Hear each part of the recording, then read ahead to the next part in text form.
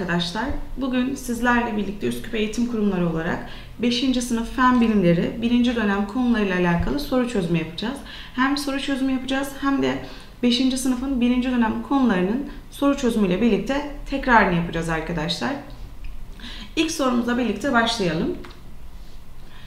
Ee, soru 1. Öğrencinin sorusuna öğretmenin verdiği cevapta daire ve yıldız sembolleriyle gösterilen boşluklara aşağıdakilerden hangisi yazılmalıdır? Şimdi öğrencinin sorusuna bakalım.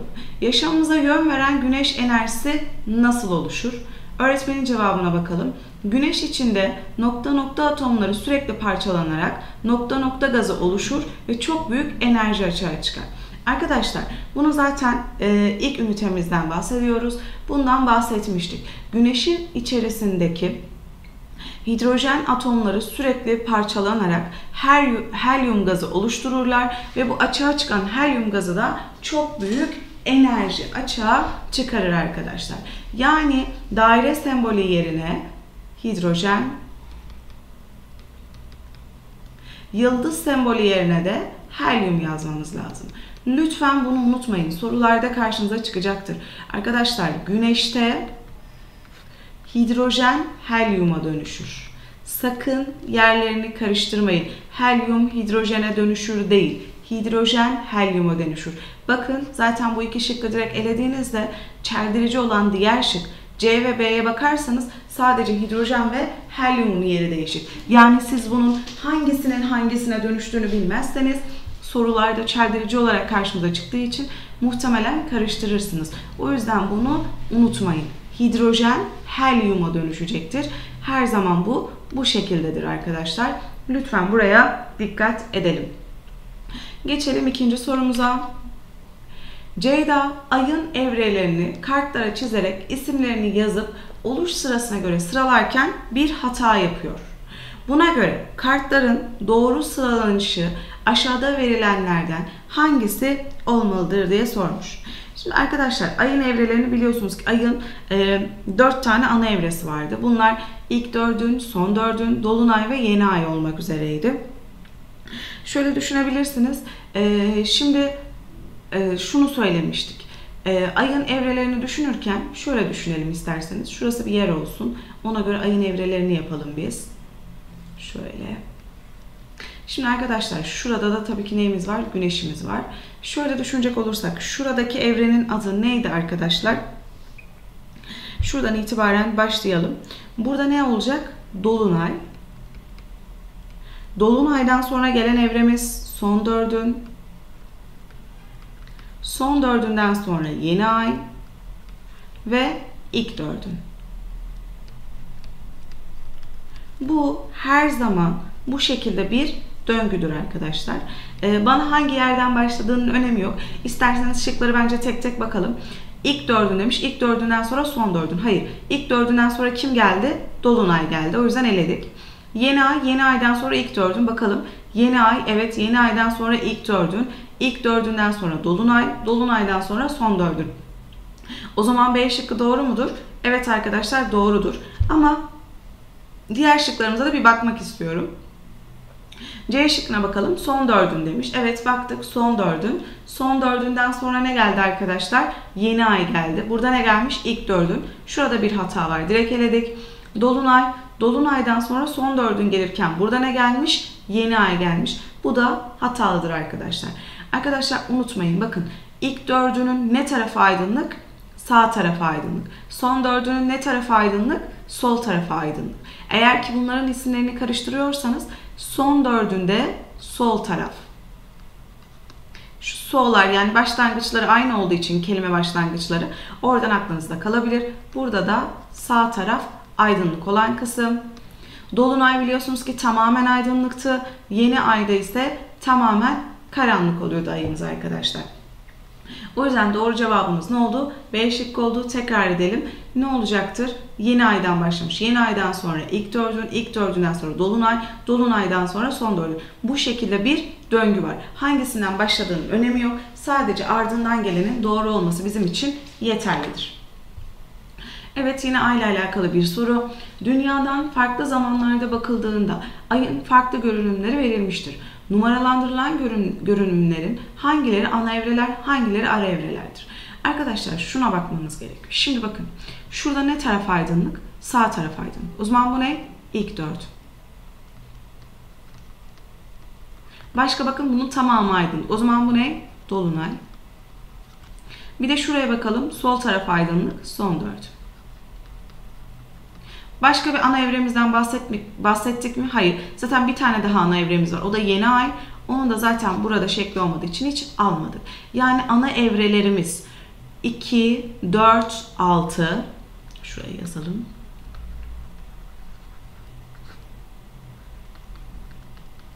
Ara evrelerimize bakacağız. Ara evrelerimiz ise neydi arkadaşlar? Hilal ve şişkin aydan bahsediyorduk. Şimdi bakın şurada ne var? Bir hilal var. Burada ne var? Şişkin ay var. Burada ne var? Şişkin ay var. Şurada ne var? Hilal var. Şimdi arkadaşlar o zaman e, 4 tane de ara evremiz oldu. Şöyle yapalım. Hilal, hilal, şişkin ay, şişkin ay. Ara evrelerimizde 1, 3, 5, 7. Arkadaşlar dikkat ettiyseniz her ana evreden sonra bir ara evre geliyor. Bakın ilk dördünden sonra bir ara evre, sonra tekrar bir ana evre, sonra tekrar bir ara evre, sonra yine ana evre ve ardından tekrar ara evre geldi.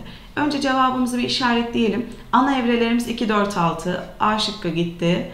B şıkkı gitti. D şıkkı gitti. Cevabımız C şıkkı oldu arkadaşlar. Bunu unutmayın. Ayın her ana evresinden sonra bir ara evre gelir ya da her ara evresinden sonra bir ana evre gelir diyebiliriz arkadaşlar. Devam edelim. Yukarıdaki sorular aşağıdaki seçeneklerin hangisine doğru cevaplandırılmıştır?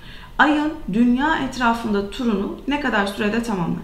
Arkadaşlar ay dünya etrafındaki turunu ne kadar sürede tamamlıyordu? 27 gün. Dünya güneş etrafındaki turunu ne kadar sürede tamamlar?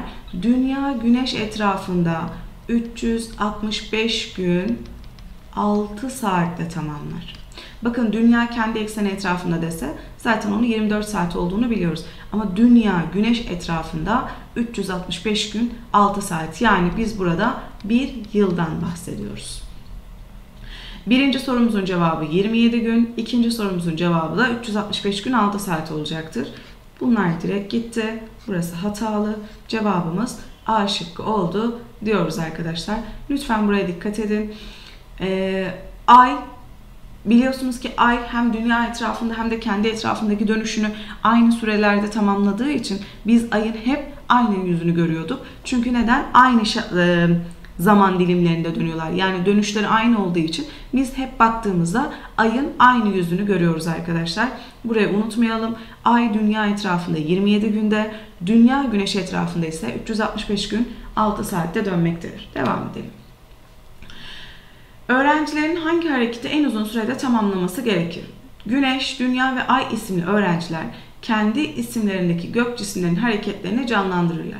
Öğrenciler kendi çevrelerinde bir tur dönerlerken yere çizdikleri çemberler üzerinde de şekildeki yönde bir tur dolandılar. Arkadaşlar bakın güneş, ay, dünya.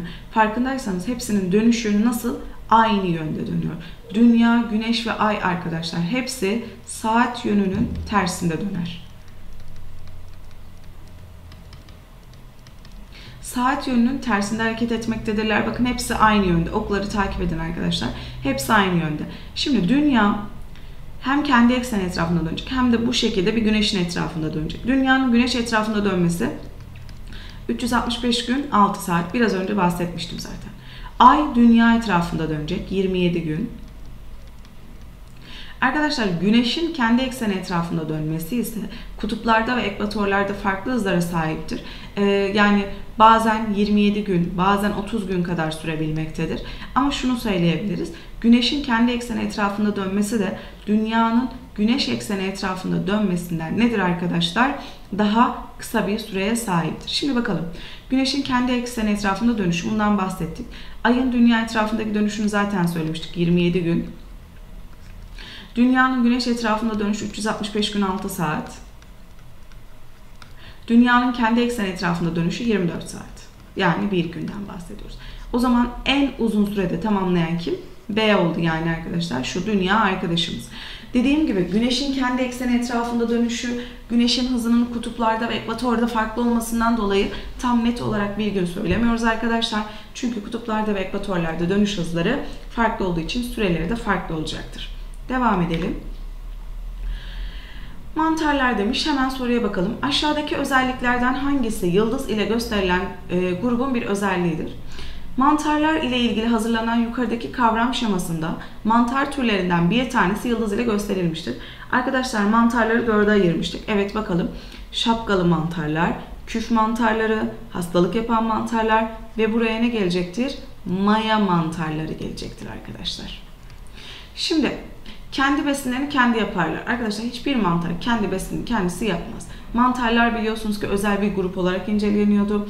Mantarlar ne bitkiler ne de hayvanlar grubuna dahildi. Çünkü mantarların bazı özellikleri bitkilere, bazı özellikleri hayvanlara benzemekteydi. Bu arada mantarlar kendi besinlerini kendisi üretemezler. B. Bebeklerin ağzında görülen pamukçuk hastalığına sebep olurlar. Bu hastalık yapan mantar. Zaten onu vermiş. Ben maya mantarının özelliğini arıyorum. Açıkta bırakılan besinlerin üzerinde yeşilimsi bir beyaz tabaka oluşturur. Bu küf mantarı. Onu da vermiş. D'ye bakalım. Hamurun ekmeğe dönüşmesini sağlar. Bu da maya mantarıydı arkadaşlar. Hamurun mayalanmasını sağlar. Mayalanma işlemini sağlar.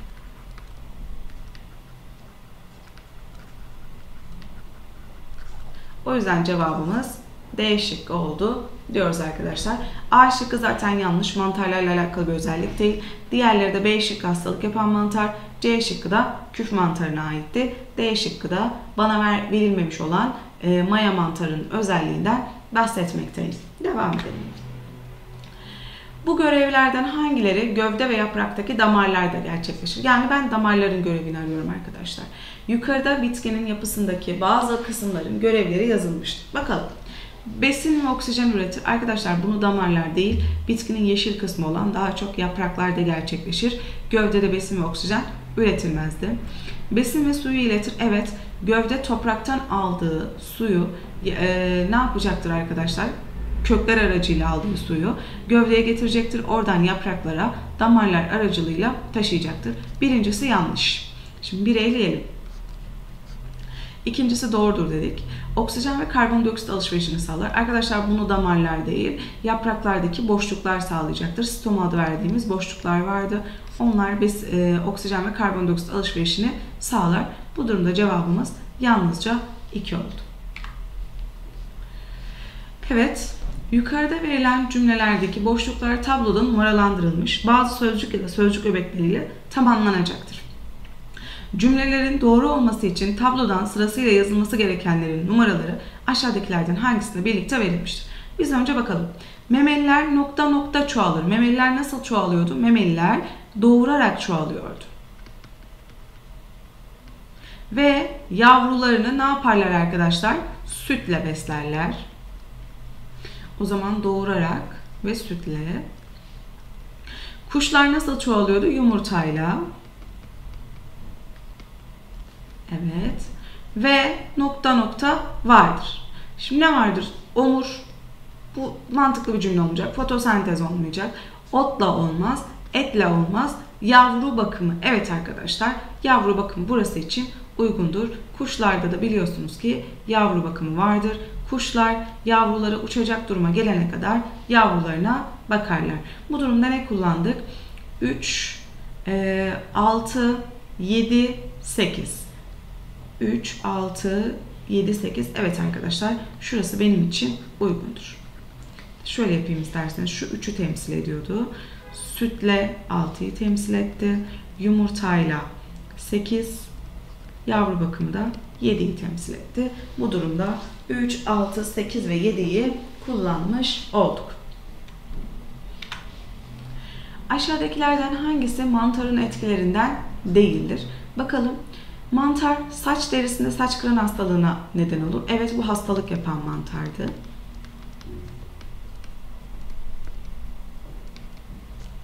Doğrudur. E, aynı zamanda tırnaklarda da mantara sebep oluyor, hastalığa sebep oluyor.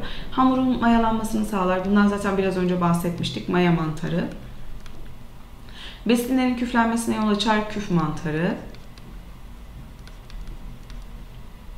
Verem, tifo, kolera gibi hastalıklara neden olur. Arkadaşlar bunlar daha çok solunum hastalıklarıdır. Mantarla alakalı bir hastalık değildir. O yüzden D şıkkı söylenemez. Öğrenciler hangi hayvan e, oyunu oynuyorlar? Hayvan fotoğraflarından birini diğerine göstermeden seçerek aşağıdaki soruları soruyorlar. 1. Vücudu tüylerle kaplı mı? 2. Yumurtlar mı? 3. Omurgası var mı? 4. Yavrusunu sütle besler mi? Bu sorulardan sadece 4 numara olana hayır diye cevap veriliyor. Şimdi bunun cevabı hayır olacakmış. Şimdi arkadaşlar vücutları tüylerle mi kaplı? Evet bakın şunu eleyelim. Bu gitti. Yumurtlar mı? Arkadaşlar köpek doğurarak çoğalıyordu. Memeliydi çünkü. E, kanguru da aynı şekilde. Ama penguen neydi arkadaşlar? Uçamayan bir kuş türüydü. Kuş olduğu için neydi arkadaşlar? Yumurtlar diyoruz. Omurgası var mı? Zaten omurgalılar grubunda yer alıyor. Evet. Yavrusunu sütten besler. Hayır. Arkadaşlar yumurtladığı için dışarıdan aldığı besinle zaten penguenler yavrularını balık ile besliyorlar. Arkadaşlar. O yüzden cevabımız B şıkkı olacaktır. Bunu unutmayın. Penguen uçamayan kuşlardandır. Uçamayan kuş. Kuş olduğu için yumurtluyor ve yavrusunu da sütle değil dışarıdan aldığı besinle besliyor arkadaşlar. Can, dinamometre tasarlarken yukarıdaki malzemelerden hangilerini kullanabilir? Arkadaşlar dinamometrelerin içinde biliyorsunuz ki esnek malzemeler kullanılıyordu. Bu esnek malzemeler neydi arkadaşlar? Mesela paket lastiği esnetti. Eminim ki derslerde anlatırken hepiniz birer dinamometre yapmışsınızdır okullarınızda. Orada da paket lastiğini kullanmışsınızdır. Hatta şırıngayla birlikte kullanırsınız. Bana esnek malzeme lazım.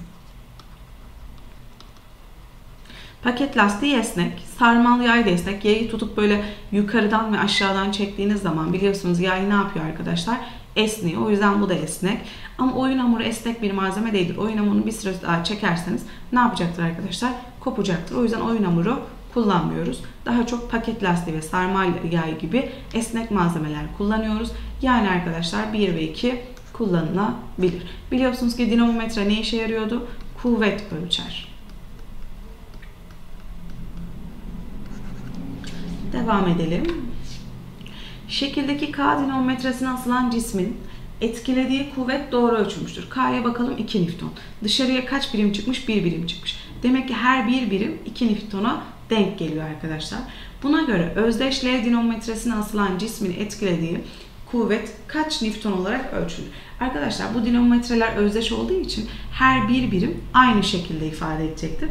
O yüzden burada her bir birim 2 Newton olsa burada da 2 Newton olacaktır. Yani şurası da 2 Newton, burası da 2 Newton.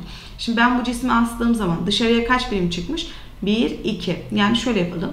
2 Newton burada var, 2 Newton burada var. Topladım 4 Newton oldu. Şimdi cevabımız bu arkadaşlar ama bir dinamometreden bir kere bahsetmek istiyorum. Biliyorsunuz ki dinamometreler kuvvet ölçer olarak kullanıyorduk biz bunları.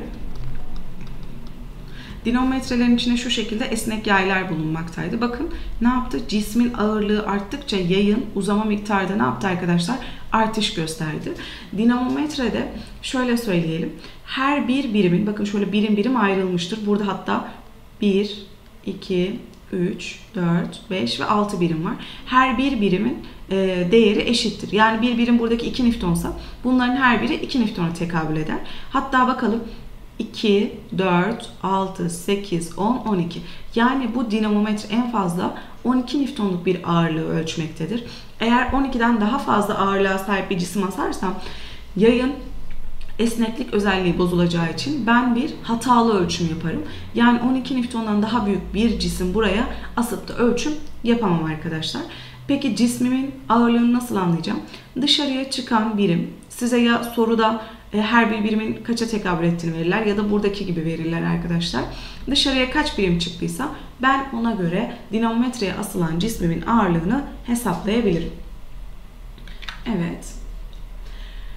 Sarmal bir yayın ucuna asılan cisimlerin yaya uyguladıkları kuvvet ile yaydaki uzama miktarı aşağıdaki grafikte verilmiştir. İfadelerinden hangileri doğrudur diyor arkadaşlar. Grafiğe göre yaya uygulanan kuvvet artarsa yayın uzama miktarı artar. Bakın arkadaşlar 2 Newton'luk kuvvette 5 santim uzamış. 4 Newton'luk kuvvette 10 santim uzamış. 6 Newton'luk kuvvette 15 santim uzamış. Sonra 8 Newton'luk kuvvette ise sabit kalmış. Yani uzama miktarı burada ne olmuş arkadaşlar? Sabitlenmiş. Devam edelim. Yaya 6 Newton'dan büyük kuvvet uygulanırsa yayın esnekliği bozulur. Evet arkadaşlar bakın uzama miktarı sabit kalıyorsa demek ki bu yay en fazla 6 Newton ölçebiliyor. 6 Newton'dan daha büyük bir şey asarsam cisim uzamayacağı için bana doğru ölçüm vermeyecektir. Bakın 6 ile 8'in uzama miktarları aynı olamaz. Kuvvet arttıkça uzama miktarında artması gerekir. O yüzden bu doğrudur. Yaya 4 Newton'luk kuvvet uygulanırsa yay 10 santim uzar. Bakalım 4 Newton'luk kuvvette ne kadar uzamış? 10 santim. Evet arkadaşlar bu da doğru olacaktır. Yaya uygulanan kuvvet artarsa yayın uzama miktarı da artar. Bu da doğrudur arkadaşlar. Bakın kuvvet arttıkça uzama miktarı arttı. Şurada bir istisnai durum var sadece. Onu da söyledim. Çünkü yay en fazla 6 Newton ölçebiliyor. Altının üstünü ölçerse yayın esnekliği bozulacağı için uzama miktarı da doğru bir şekilde verilmeyecektir. Buna göre X cismi çıkartılarak aşağıdaki ağırlıkları verilen cisimlerden hangileri birlikte asılırsa bu dinamometre ile ölçüm yapamayız. Yandaki dinamometreye asılan X cisminin etkilediği kuvvetin büyüklüğü 50 Newton olarak ölçülüyor. Şimdi arkadaşlar X cismini astığımda dışarıya kaç birim çıkmış? 2. Demek ki bu iki birimin toplamı 50. Ben 50'yi 2'ye bölersem ne gelecektir arkadaşlar? 25 gelecektir. O zaman her bir birim 25. Yazalım 25'leri.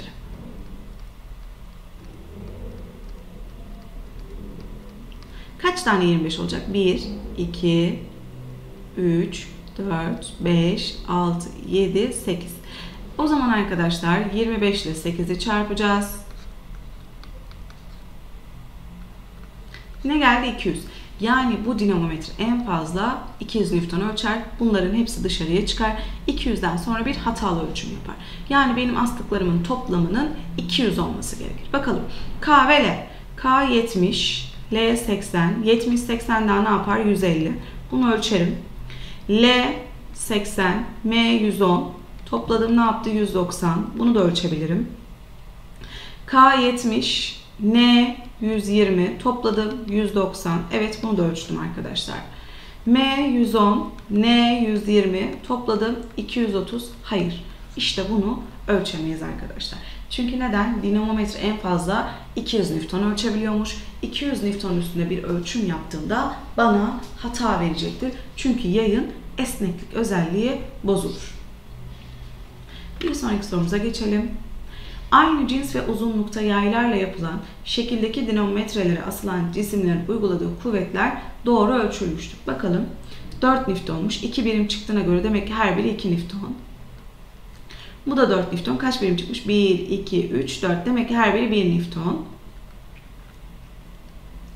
Arkadaşlar şuradaki değeri kaç birim çıktıysa ona bölüyoruz. 4 Newton var. 4 birim çıktığına göre 4 bölü 4'ten 1. Yani her bir birim 1 Newton'a denk geliyor. 2 Newton. O zaman bu da 1 Newton, 1 Newton. Çünkü 2 Newton çıkmış. Hangisi yanlıştır? K ve M dinamometrelerinin yayları eşit kalınlıktadır. Bakalım K'da her bir birim 2 Newton, M'de her bir birim 2 Newton. Evet arkadaşlar, e, her bir birimin aynı olması eşit kalınlıkta olduğunu söyleyebiliriz. E, K'nın yayı L'nin yayından daha incedir. K'nın yayı 2 Newton, L'ninki 1 Newton. Arkadaşlar şunu söyleyeceğiz şimdilik. Ee, evet arkadaşlar şunu söylüyoruz. Eğer ki ölçtüğüm mesela bakın şurada her bir birim 1 Newton ya her bir birimin 1 Newton olması demek hassaslığın daha fazla olduğunu. Yani ben daha hassas ölçümler yapabileceğimi, bu durumda da yayın daha ince olması gerektiğini. Çünkü kalın bir yaya e, küçük bir kuvvet astığınız zaman arkadaşlar uzama miktarı çok fazla belli olmayacaktır. Ama ince bir yaya asarsanız uzama miktarı belli olacaktır. Yani burada hassas, daha hassas ölçümler yapılır. Nerede daha hassas ölçüm yapılır? Daha incede. Daha incenin birimi daha küçük olacaktır. Bakın K'nın birimi 2 Newtonken L'nin birimi 1 Newton. Evet arkadaşlar ne diyeceğiz biz burada bunun için? K'nın yayı L'nin yanından daha ince değil daha kalındır. Yani şuranın tam tersi olması gerekir. Burası kalın, burası ince. Tamam mı arkadaşlar? O yüzden cevabımız C şıkkı ama diğerlerine de bakalım. L ve N yayları eşit kalınlıktadır. Eğer birimleri aynıysa evet eşit kalınlıkta diyeceğiz. L 1 Newton, N 1 Newton doğru. K'nın ölçebileceği en fazla 10 Newton'dur. Her bir birim 2 Newton'du. 2, 4, 6, 8, 10. Evet arkadaşlar 10 Newton'dur. Bu da doğrudur. O yüzden cevabımız C şıkkı oldu diyoruz arkadaşlar. Şimdi devam edecek olursak arkadaşlar. E, diyor ki öğrenciler sürtünme kuvvetinin e, günlük yaşamdaki yeriyle ilgili aşağıdaki örnekleri veriyor. Ali sürtünme kuvveti, ha, şunu söylemiş, sürtünme kuvvetini azaltmaya yönelik. Biz azaltmaya yönelik olanlarına bakacağız. Ali sürtünme kuvveti bir yere tutunmadan yürümemizi sağlar. Kışın yolların buz tutması yürürken kaymayı kolaylaştırır. Arkadaşlar sürtünme kuvveti azalıyorsa yapacağım bir daha kolay yaparım. Sürtünme kuvveti artıyorsa yapacağım bir daha zor yaparım. E, kayarken daha kolay yürüyorsak yani yürürken kaymayı kolaylaştırıyorsa bu sürtünme kuvvetini azaltır. Araçlarda birbiriyle sürtünen parçaların, parçaların aşınmasını önlemek için yağ kullanılır. Bu da sürtünme kuvvetini azaltmak için yapılır arkadaşlar. Aşınma olmasın diye. Ama arkadaşlar bu sürtünme kuvvetini azaltmaya da arttırmayla alakalı bir durum değil. Bu bizim sadece sürtünme kuvvetinden dolayı yürümemizi sağlayacaktır. Yani cevabımız Veli ve Can olacaktır. Ahmet, Ahmet'in bu gözlemlerinden kaç tanesi sürtünme kuvvetinin artmasıyla alakalı. Yani bu sefer de sürtünme kuvvetini arttıracağız. Yani işimiz zorlaşacak.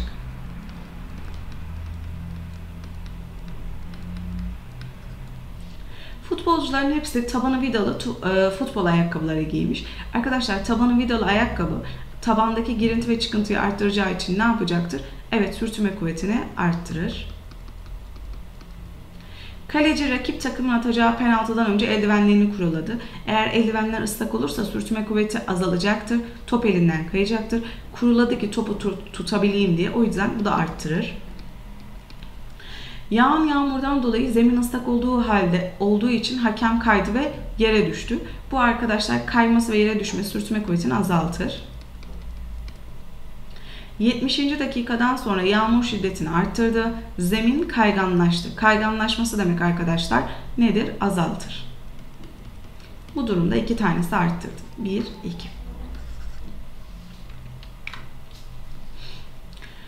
Yukarıdaki cümlelerde verilen boşlukların aşağıdakilerden hangisiyle tamamlanması doğru olur? Şunu söyleyeceğiz. Hemen bakalım.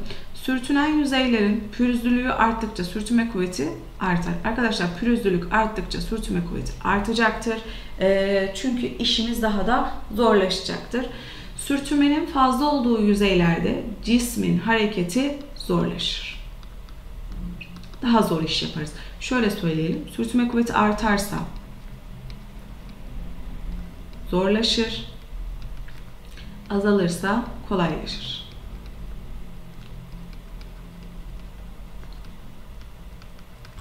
O yüzden üçgene artar, daireye zorlaşır diyeceğiz. Bu durumda cevabımız A şıkkı olur arkadaşlar.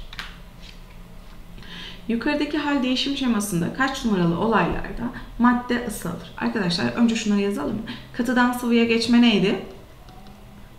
Erime. Sıvıdan gaza geçme, buharlaşma.